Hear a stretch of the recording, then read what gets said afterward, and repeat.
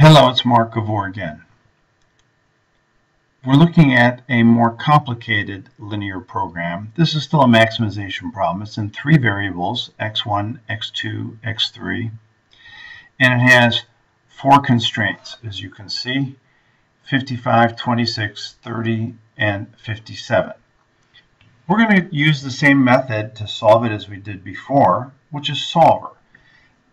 I'm going to write my answers in this area or set up the problem in this area based on this problem statement. So what would I like? I want to have my objective function first.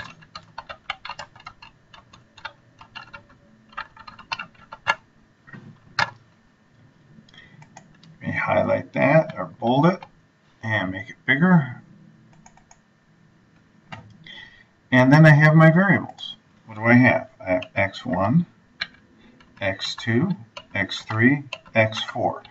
I don't have to necessarily make them subscripts, not needed. And I will have, they call it P, but I'm still going to call it Z because that's what we're used to calling it. So there are my variables. And I want to put a box around all of that. I want to highlight my variables. And I use the same color scheme I used on this problem, which is different than the last one. And I'll make them bold. So here's where the variables are going to go. And let's put the coefficients down here. Actually, I made a mistake. There are not four variables. There are just three no, no issues. If I make a mistake, I fix it. What are my variable? What are my coefficients? 20, 10, 15. I'm going to highlight this section in yellow again because that is where my answers will go. I'm setting it up that way. So I have to set up what z is going to be. I could start it off with z equals, and I could do 20 times C12 like I did in the first problem plus, but once I get above two variables, I get a little lazy and I want to use what we call sum product, which we covered in class. It says array 1 times array 2, so it's going to say this array is the first one, comma, this array the second one. And you see I have 0 there. So if I put 1s in for each one, it has 20 plus 10 plus 15 is 45. So that works out pretty well. Now what do I want to do? I want to put in the constraints.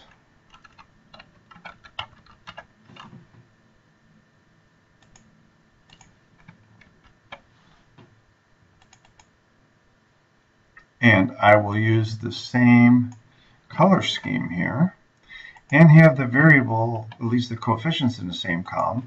But if you recall, this is the left-hand side. This is the inequality. And this is the right-hand side.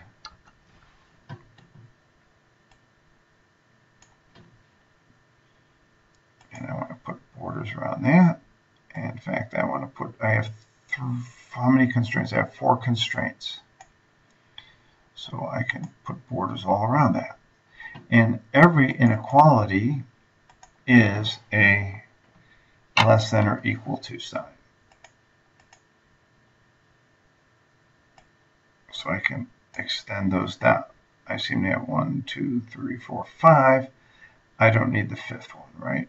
I can get rid of that. Remember, the left-hand side is where my answers are going to go. The right-hand side, so let's, the right-hand side, I just now want to fill in everything that's in this area. So what do I have? I have coefficients in the first constraints of 3, 2, and 5. The right-hand side, the constraint is 55. The second one is 2, 1, 1 and the constraint on the right hand side is 26. The third one is 113 and the constraint is 30. The fourth one is 524, 524, and the constraint is 57. Now, in the left-hand side, I have to put my equation. I want to put equals, and I will use the same sum product. If I put SUMP, it will come up with sum product. I double click on it, it puts it up here. I want to take these three numbers times these three numbers. And it puts a zero there.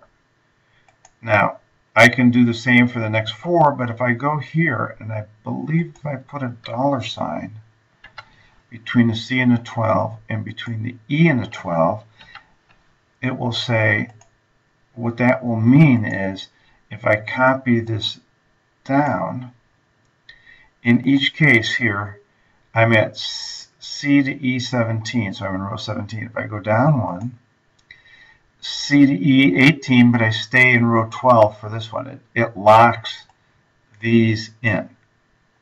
So that's good. So, so I'm all for shorthand.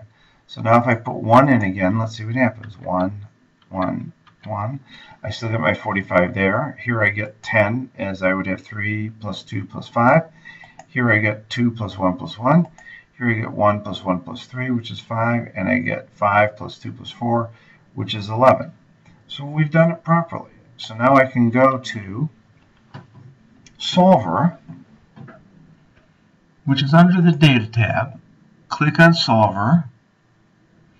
Cell must be a single objective cell. Oh, that's because I have more, more cells highlighted. I had all these cells highlighted here. It thinks that's my objective. So really what I want to do is go here and my objective is always my Z. I'm maximizing again and I want to adjust these three variables, C12 through E12. And now I just changed that, sorry. and I want to add then some constraints. And I want to add four of them. So I want to add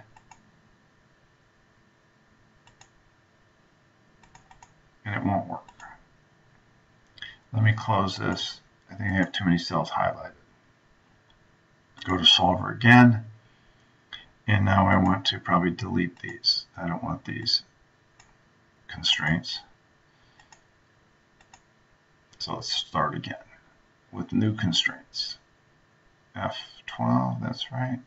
I want to add a constraint. So what do I want to add? I want to add this one, less than or equal to, and this one. I want to add another one. So I'll do that, and I'll take the 26. I'll add that.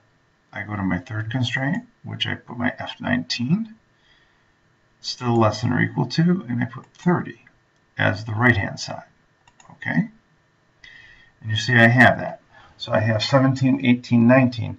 Now if I add another one, it's going to add it on the top, just so remember that. So I forgot to add the fourth one. If I go here, I do 0, which is F20, and I'll add the right-hand side, which is H20. And I've added them all, so we're okay. Simplex linear programming, make unconstrained variables non, non-zero or non-negative, and I say solve. And it gives me my answer. It gives me this first constraint I can see is fully binding. The second constraint is fully binding. There's slack in the third constraint, 27.4 to 30, and the fourth constraint is completely binding. Why don't I add the three other reports and it will put the three right here between problem one and problem two and it calls it answer report 2, sensitivity report 2, limits report 2.